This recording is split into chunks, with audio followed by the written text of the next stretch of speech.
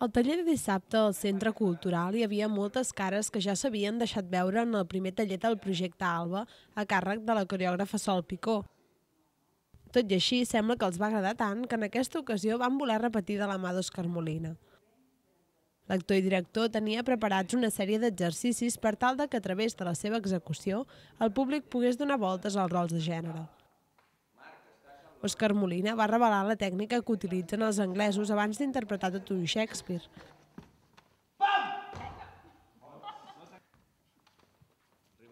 Va convertir l'escenari del Secuca en una pista d'embalat on tothom s'ho havia d'estar passant especialment bé.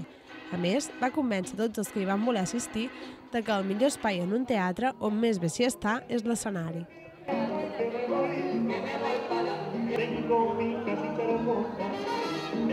Així, no és gens estrany que tots aquells que hi van voler pujar els costés d'allò més baixar.